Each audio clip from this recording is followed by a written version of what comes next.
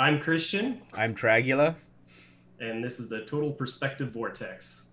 Today is June 9th, 2020, and it's the second week of the 2020 collapse riots.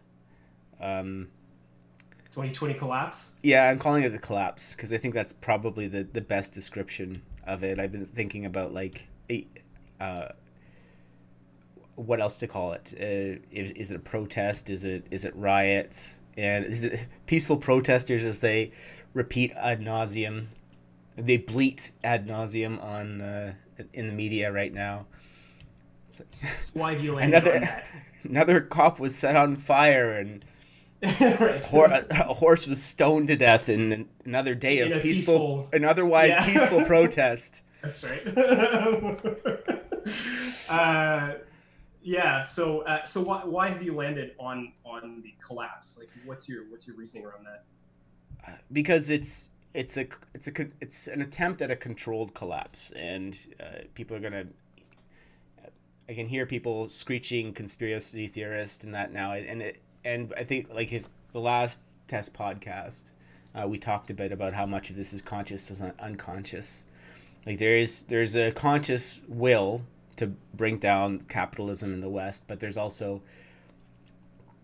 an unconscious desire to do that as well, uh, to, to to tear down meritocracy, and it, it's it can be difficult to see where the uh, the the conscious ends and the un- unconscious uh, willing things into existence is, uh, begins, and that's a, a big part of the problem. We talked a bit about that uh, yesterday, last time we were recording, Right. and uh, we in that I compared uh, the setup of this collapse, and it's it's largely like by organizations like Antifa and, and the Dems. They're trying for a, a a controlled collapse or directed collapse that's going to work in their favor. But if you start this this collapse of a complex system, it that's not it's not necessarily going to turn out that way, right? Like if you you can cut down a tree, and in a certain for uh, and to a certain de- degree you can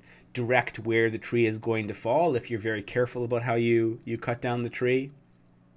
Right. but there's no guarantees. The wind could come up in, a, in an inopportune time.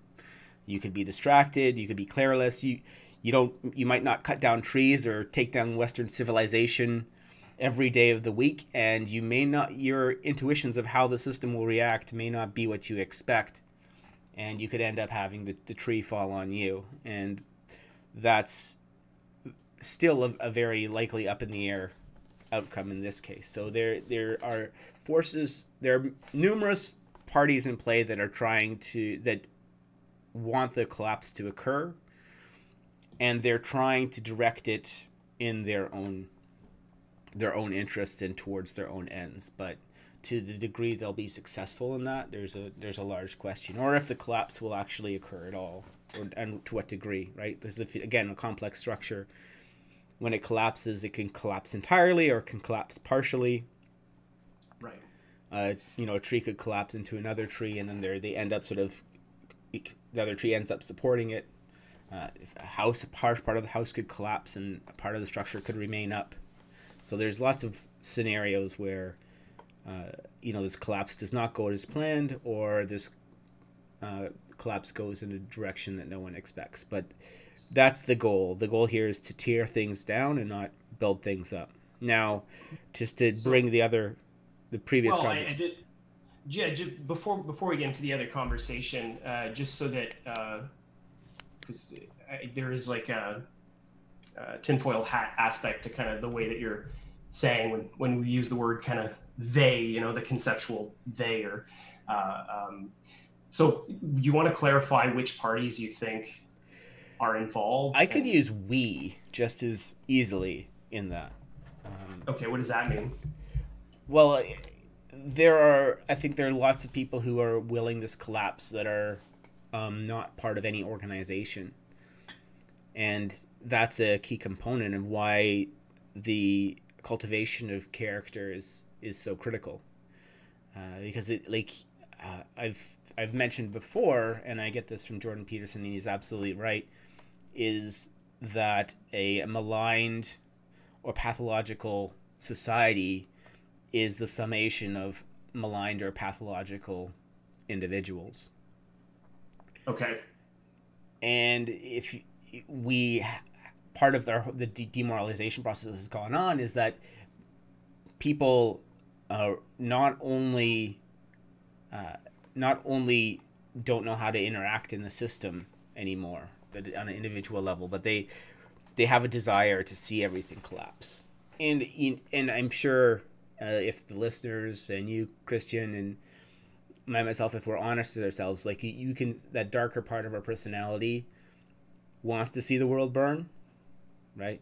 Like if you look at the movie Fight Club or something, there's a wish for wish fulfillment. There's a wish to see the game board flipped and reset into what we think part of us desires is a simpler time or at least more chaos because maybe we can we can uh, climb the ladder uh, when when chaos is unleashed interesting yeah so there's a there's okay. there's two you know there's there's a a will to build and create but there's also a, a will to destroy and it's built in into us like that in, into our system and you can sort of see it from a game theory perspective that especially people on the bottom or people who are being uh, engaging in a game, it's logical that there would be a part of our consciousness that is watching for things, and and this is these are cues that they they build in, right? Like so so the, people talk about how how unfair the system is, because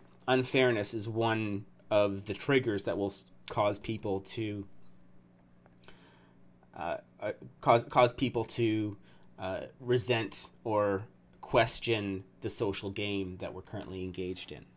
So if, right. if, people think that the game is stacked against them or rigged against them, that will trigger their resentment emotion and their uh, desire to flip the game board.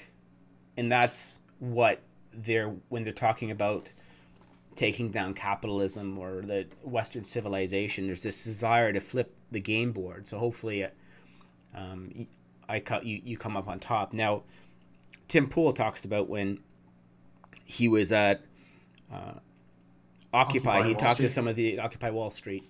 Uh, he talked to some of the uh, or, the organizers, the Antifa types, and he and, and Tim. I, I don't know where he got this, but he just he described how if you flip a pyramid like a pile of sand you end up still with another pyramid or another pile of sand. It just all that changes is who's at the top. Right. Right, and that's and and they would readily agree with that because a lot of this this will to flip the system and what you, what these communists don't uh, don't articulate clearly is because uh, it's so ugly is that they're just determined to to they, they see in the future that they'll be the ones at the top and they'll be the ones that are directing things and they'll be the ones who can get society right. At a minimum you know depending on on the, their character and how much they're deluding themselves they'll think that they they are going to get it right for everyone or uh, if the, if there's a little less self-deception there they'll just be thinking that i'm going to get it right for myself right okay so um, so yeah, so last time we talked about uh, kind of individuals' roles and um, how uh, corruption happens over time, and I think we wanted to touch on that a little bit today. Um, did you want to introduce that a little bit? Yeah. Okay. So uh, I so last time we were talking about who's to blame for the fire, and I like like again it gets to that question of how much of this is consciously planned and how much of this is con- unconsciously willed into being. Like, who are the parties involved? Right. And I, i'd say that like and it, to the extent this is unconsciously willed into being and it's a it's a system wide complex I, i'd say that everyone bears a little responsibility uh, but because that responsibility is so diluted and, and distributed no one feels that that that guilt or call to responsibility for this. Even the people right. most proactively who desire to build this down don't don't have a desire uh, don't feel responsible for the collapse or the calamity that's coming about by this and that's a huge part of the problem and a huge and, and goes to the lack of of, of good character development uh, but to focus on it so this idea of distributed blame i talked about the wildfires in australia and how Right. that was a failure and the, the massive wildfires that hit the whole country was a failure in public policy, a fail, failure to maintain institutions that have been established for 100 years, right? So we had controlled burns, and it was the responsibility of individual mu- municipalities to have these controlled controlled burns that would stop a large massive fire from ever ever occurring because you'd have these smaller fires during the wet season that you could control and that over time would maintain the entire system. But there would be people who challenged these um, these controlled burns animal rights activists who challenged and it would be easier to appease the animal rights activists at the moment who are talking about baby birds in trees and fires that you start compared to um, justifying the established institution that So the key thing about the forest fire fire analogy is the massive fire sometime in the occurred future. because of all these micro decisions, these uh, small appeasements, these cowardly, uh, these cowardly take the easy road approaches of, of the leaders of these municipalities. So it was very easy for every leader to say, "Oh, we'll, we'll put we'll put off the fire the burns for another year," and it be and when the animal rights activists came to another municipality, it was easy for them to say, "Well, this other municipality gave in, so so we'll we'll put off the the controlled burns are, as well." And the, the key, the attractiveness of this cowardly approach, and why our leaders are being selected for this cow- cowardly approach, is that the cause, the response, whenever you take this this cowardly approach, the responsibility is distributed. You're not putting any attention on yourself. So now that we have this massive fire that consumed most of Australia and killed billions of animals, there's no one municipality, no one decision that you can point to and say this was the cause. Whereas if you take a heroic stance, you take responsibility for this for the situation. You bring it up, bring all eyes onto yourself, like you're you're holding this, this torch, and people see how you react. So if they take the opposite and they say no, this is the controlled burns are necessary, well, they have to back up that stance. And the forces of not only uh, the the activists, but also the all the pressure, all the responsibility that was slung off by those other municipalities is brought onto them, and that's exactly what we're seeing here too. That every time one of our leaders kneels, one of these leaders starts bleeding out the ideological propaganda of Black Lives Matter, uh, that it becomes harder for the next person to take a heroic stance because now they're taking on more responsibility than they would have other otherwise and more eyes will be on them. So this is so I, I tied this also to jordan peterson and why his principled stance was so uh, uh, so critical. Like all he he had he had to do was acquiesce to using uh, using preferred pronouns under the rule of law under the force of law. But he his his line his principled stance was there should there shall not be compelled state a compelled speech in western liberal, liberal, liberal democracies it's not it's against the british parliamentary tra- tradition to have compelled speech Right. right What is he fa- famously? I'm not doing it. i'm not doing it I'll, I'll go to prison. I'm not prison doing it. yeah i won't pay the fine Right. i'll go to prison And and as an inju- and as an individual, that seems like a small thing. yeah Like you're saying, it just kind of funneled. but all eyes went onto him because he had taken that heroic stance Right. and that's the other side of it is that you, you have to be willing to, to back that up and, and bring that responsibility and this is why cowardice is so appealing is because you Right. sl- you slug off the responsibility and you the collective pays the cost for you. You don't you don't pay the individual cost disappears. You only risk the individual cost when you take the heroic stance. Right. Well, luckily here in Canada we have a, a, a prime minister who's uh, incredibly courageous uh, at every turn, so we're, we're lucky in that sense. So what what can so we've had this discussion and but what can we flesh out the idea of like what an individual can do?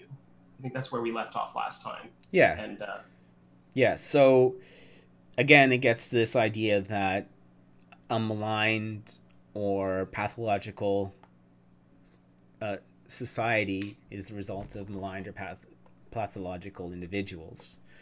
So you gotta sort yourself up, cl- sort yourself out, clean your room, and also find ways to uh, take the heroic stance because uh, that's the well and i'm going to be getting into a whole other can of worms then about the nature of being but it, this is there's I'll, I'll leave it at this. So there's I, there's three existential fears. I'm not going to talk about all of them i'm going to talk about the most important one the one that's overlooked from our society.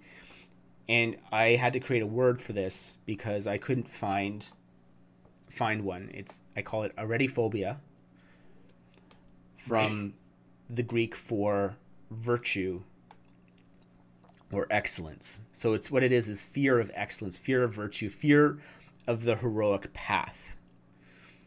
And this good cowardice word. Sorry? It's a good word. It's a useful word. It is a useful word. And when you think about it, this fear of the heroic path is just as prevalent to how you live your life.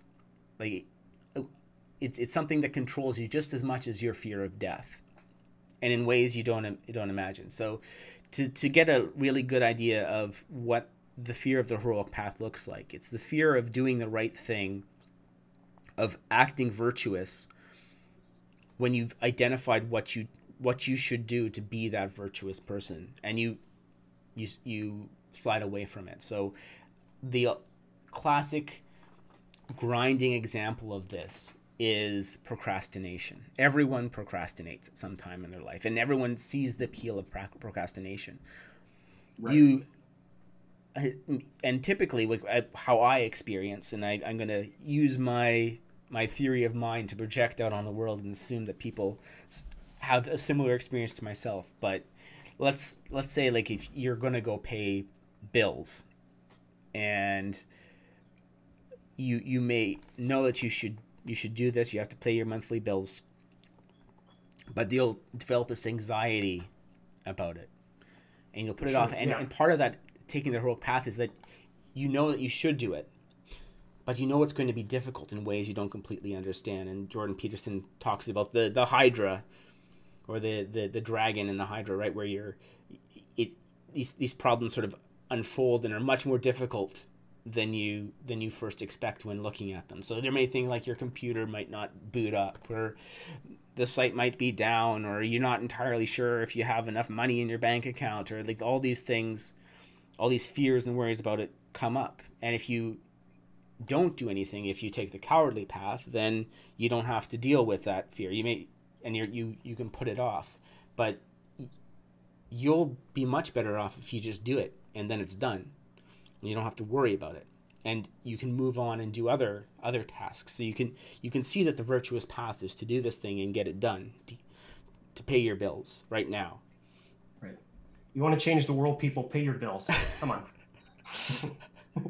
But it, it, starts with that. That's why you know jordan peterson does, was talking right. about cleaning your room and jocko willink talks about the importance of uh, getting up early and exercising every morning and having right. like having a regular schedule is because that is if if you that is overcoming your aretophobia at the beginning of the day, starting your day with a victory. It, even though it, it, it and you know it sounds like an easy win or trivial win, it's not. If you're doing it every day consistently, that there are very very few people who can achieve that level of discipline. Right. Right. And but and it makes you much stronger. But that's and that's just one example. And if you achieve that level of discipline, if you overcome your aretophobia in that way, there's probably other ways where you're not coming overcoming your aretophobia. but this is this is the beginning of it. Is is is whether people are taking the heroic patch path or finding identifying uh, the the virtuous path they want to take and being a hero and taking that path or whether they're sliding and, and falling away from that path and right. just as you're not paying your bills because of like all all the things and all the risk and the response it, it, taking on that responsibility sort of feels like it's a trivial thing that you're probably going to end up being forced and grudging to do well our leaders are the leaders we have been selecting for procrastinate in exactly the same way and are being manipulated by aretophobia in exactly the same way when they do, when they give in to those animal rights activists or when they put out their their uh, their letter of, of surrender to Black Lives Matter, their their, their proclamation of of uh, of I don't even know how to describe it. I just the word the words leave me, but you know what I'm talking about. These these in black Instagram messages and so forth, and like these these trivial uh, ideological loyalty signaling gestures. Uh, yeah, the surrender the surrender documents. Um, the it, it's it's the aretophobia. It's the it's the taking the cowardly path, the easy road, because you don't have to bring any of the responsibility onto yourself. Then the risk is is collectively distributed. Right. Right. And you don't have to worry about any individual responsibility, and that is aretophobia is a big part of, of the appeal of communism. Interesting. Okay. So I think we touched on what we wanted to touch on today. Yeah, yeah. Um, actually, I'll just I'll wrap that up because I did. I, I, I talked about that fear thing, but I, I didn't make it concrete because I think there's also. I I don't think unless you're very. Because uh, I want to put a qualifier on the other side. I I don't think unless you're a a very heroic individual who has the room well sorted, as as Jordan Peterson would say, uh, that you know we should be going out in the street and shouting "All lives matter," uh, and like having like counter protests at this time. Uh, but there are there are individual acts of heroism that you can do that.